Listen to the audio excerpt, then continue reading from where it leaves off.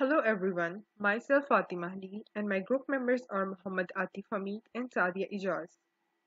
Today I'm going to introduce you with an open source SQL vulnerability scanner which is White Widow. So let's get it started. Introduction What is White Widow? White Widow is an open source automated SQL vulnerability scanner that is capable of running through a file list or can scrape Google for potential vulnerable websites. What is the target environment of White Widow? It's Linux. And the programming language in which it is designed is Ruby. It's commonly used for application security, penetration testing, and vulnerability scanning. Its target users are pen testers and security professionals. Now, what are the main key features of White Widow? The first main key feature of White Widow is it can locate potential vulnerable websites or it can automatically format files. The next main feature of White Widow is it is capable of finding vulnerabilities in websites by scraping Google using over 1000 different queries that are carefully searched before added. It also uses different SQL injection approaches. The next main key feature of White Widow is White Widow is a powerful open source vulnerability scanning tool which is capable of crawling a web page for all available links and then it search vulnerability in each link using the program and build a file feature. The last and the most important key feature of White Widow is after the completion of scanning task, you can find some SQL injection vulnerable websites and then and then you can run SQL map directly from the program. The thing is, once you are sure that you have detected a vulnerable website or the website that has vulnerability, you need not to clone any other repositories or file to launch SQLmap because you can directly launch SQLmap from this program. Now, what are the pros or what are the advantages of using the White Widow? The first advantage is it allows file formatting. Basically, it allows automatic file formatting. It allows random user agents, IP addresses, server information, multiple SQL injection set syntax. But the main advantage of using the White Widow is its ability to launch SQLmap. Once you have detected a vulnerable website and you are sure that you have website you have detected a website that is vulnerable, you can directly launch SQLmap from the program and you need not to go to any other repository or file. This program was created for learning purposes and in, is intended to teach users what the vulnerability look like. Basically, it's designed for educational purposes. Installation. You can install this tool, this powerful tool by following these simple steps.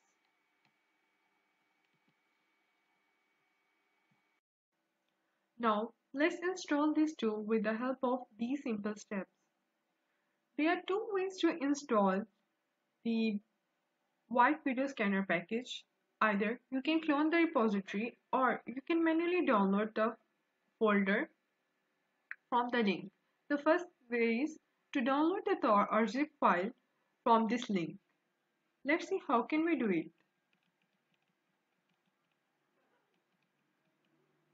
Simply go to this link and download the zip folder. As you can see,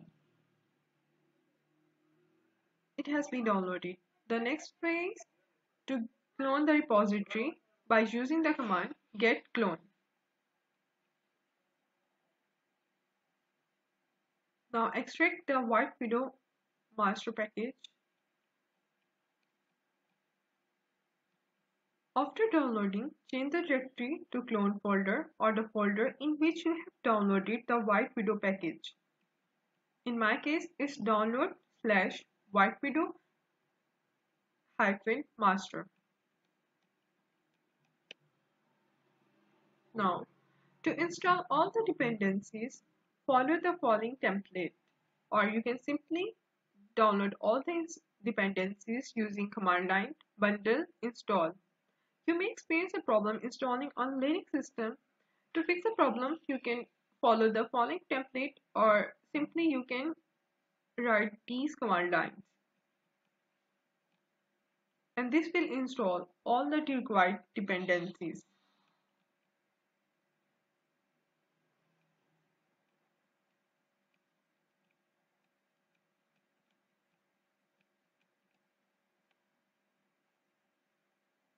Let's discuss the first mandatory flag of White Widow scanner, which is hyphen F file name. What will hyphen F file name will do? It will run through a specified file in which there is a list of URLs and try to find the vulnerabilities in those sites and see whether they are exploitable or not. For this, firstly we need to create a file simple text file in which there is a list of there will be a list of URLs and then with the help of command line to be white widow dot rp hyphen f file path we can find out whether the URLs in the list are exploitable or not.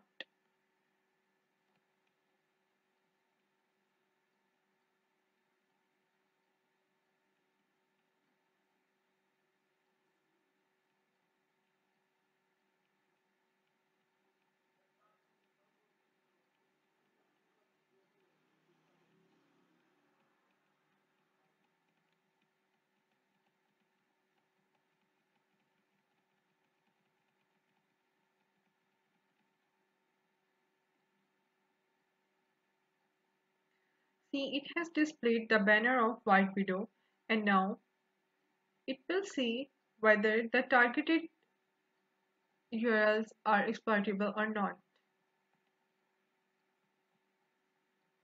If it is not, it will dump it to non-exploitable text file.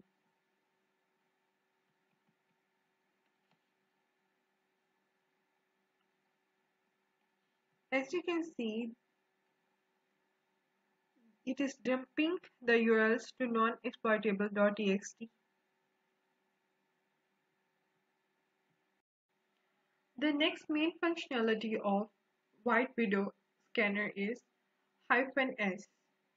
Hyphen S or spider URL. What will hyphen S or spider URL will do? It pulls opens the URL and pulls all the URL redirecting from their site and making sure it is a good URL. Basically, it detects the vulnerability of all the URLs present on our site or the URLs that are redirecting from their site.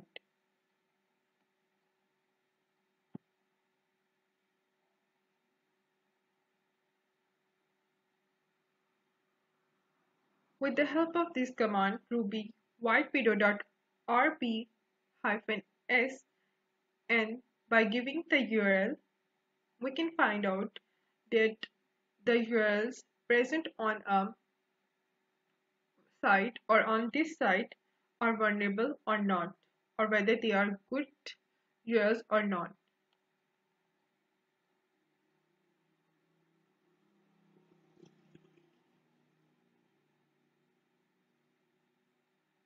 As you can see, it is checking all the URLs that are redirecting from that site.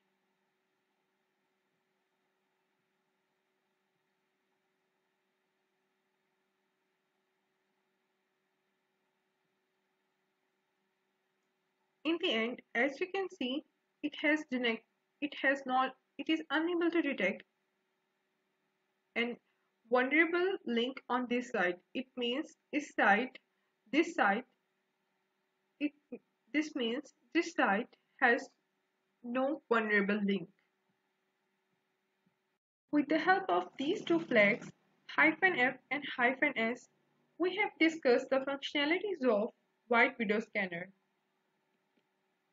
Basically, White Widow Scanner is designed for educational purpose and the main objective of White Widow Scanner is to teach a user what a vulnerability look like.